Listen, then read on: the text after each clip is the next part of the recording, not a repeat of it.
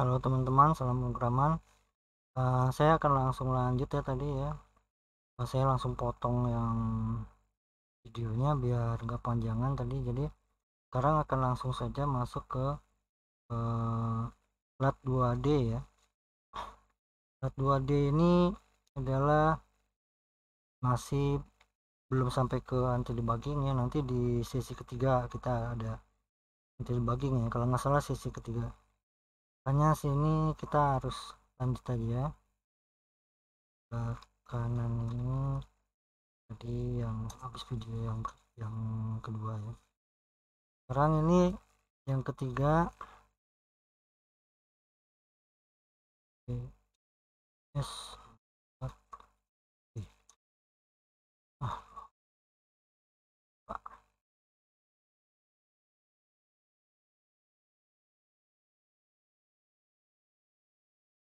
Oke teman-teman seperti ini nih. Hmm, ini kita naikin dikit. Nah bagian atas tadi nggak usah dibahas ya. Uh, itu cuma menampilkan mencetak serial katanya berwarna kuning. Terus yang bagian ini adalah uh, minta inputan sebanyak 0A ke buffer 402048 berarti 48 itu di sini nanti nih masuknya ya. Karena di buffer jadi kosong. Kemudian habis dimasukkan ke buffer ini dari buffer ini nanti diambil sebanyak 5 byte untuk di SHL 5 kemudian di uh, ditambah lagi nih ya. Enggak terlalu kelihatan. Tambah lagi dengan ini RSI ya kalau salah ya coba. Ya RSI masukkan lagi ke RSI teman-teman ya. Masukkan ke RSI coba kita gedein aja nih.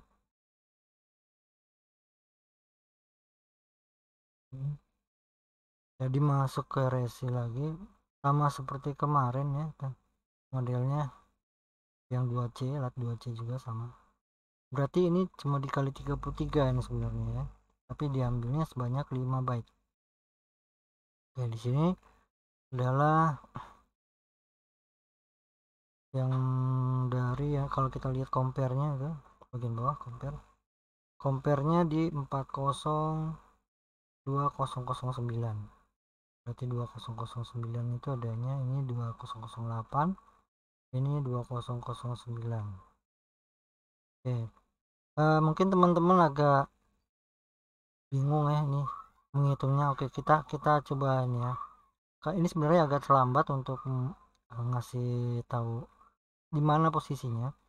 Ini 400 di sini 400 2000 ini 40 20001 40 2002 ini 03 nya ini 04 nya ini 05 nya ini 06 ini 07 berarti ini 08 dan ini 09 yang dimaksud.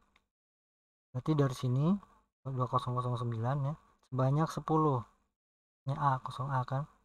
Berarti 10 dari sini sampai dari sini sampai ke sini itu 7 karena setiap satu blok begini itu 4 berarti dari sini sampai sini kan 7 karena sudah berkurang satu nih yang tadi. Bagian ini kan satu udah berkurang jadi ini ini 7 ditambah kita butuh 10 maka di sini tiga lagi. Dari sini sampai sini sampai ke sini. Nah di sini. Kemudian itu yang bagian uh, yang pertama ini ya. Kemudian yang bagian oh ini bagian yang kedua ya. Oh langsung nih. Langsung semuanya 10 10 digit ini ini 10 digitnya ini keynya ada di sini dari dari yang 29 ini sampai ke ini. Nggak termasuk bagian ininya ya bagian ini nggak termasuk ya bagian ini juga nggak termasuk. Oke seperti itu teman-teman. Jadi ini nanti eh, bagian yang di input akan dienkripsi kemudian akan dicek ke kiki yang ada di sini. Yang di 2009 ini. Oke kita langsung saja masuk ke bagaimana solusinya. Solusinya kita lihat di uh, sholat 2C 2D ini bagian 2D jadi per 4 byte dia nih per 5 byte ini sebenarnya oke dari sini sampai sini dari sini sampai ke sini. Kemudian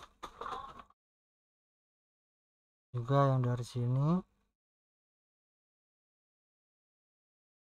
sampai ke sini.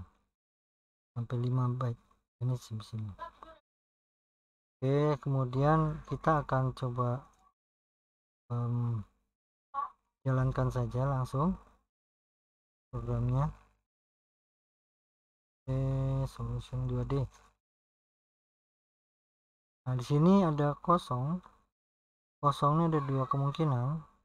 Dia bisa tabulator atau bisa sam, uh, apa spasi. Oke kita akan coba nanti apakah dia tabulator atau spasi.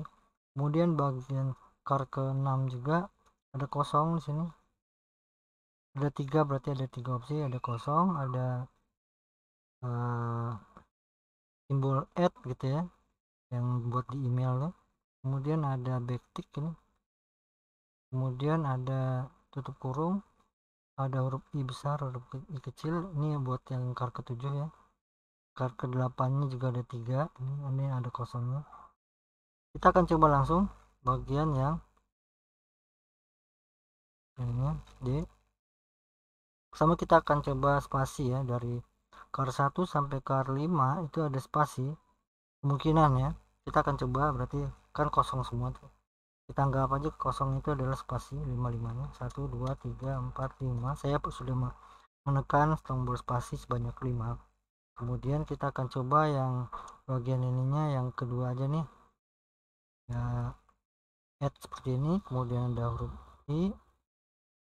Kemudian ini sama ini sama seperti ini juga. Kita akan coba seperti ini. Add i oke. Ternyata salah teman-teman. Kenapa salah? Kemungkinan ini adalah kombinasinya ada tabulator. Berarti saya akan coba dengan tabulator modelnya tabulator spasi tabulator spasi tabulator. Kemudian add i nah serialnya benar teman-teman. Berarti ada tabulator di sini oke seperti ini jadi yang benar itu adalah tabulator spasi tabulator spasi tabulator. Kemudian yang bagian ke 6 sampai 9 sampai 10 nya ini bisa coba-coba seperti ini. Model opsinya ada juga yang pakai ini bagian depan ini spasi. Kita coba dengan spasi lagi ya spasi tutup kurung spasi tutup kurung spasi nah masih benar ya teman-teman. Jadi di sini agak aneh teman-teman ya. Kalau kalian lihat dipakai tabulator dan spasi. Makanya hampir tidak terlihat. Tadinya saya pengen bikin nggak pakai huruf ya pakai spasi semua pakai spasi atau tabulator aja. Tapi kalau misalnya saya pakai tabulator atau spasi jadi seolah-olah programnya nggak nggak apa nggak sesuai nggak benar gitu ya padahal benar jadi eh, terpaksalah saya harus pakai sesuatu buat menunjukkan bahwa programnya jalan gitu.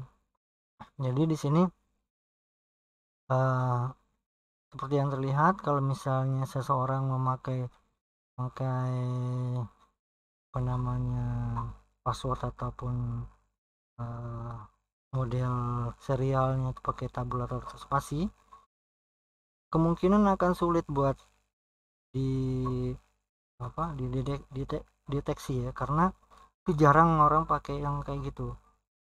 Jadi ini saya buatkan program yang serialnya pakai spasi dan tabulator uh, jadi mungkin ini adalah satu salah satu opsi buat eh, teman-teman uh, yang bikin program berbayar gitu ya.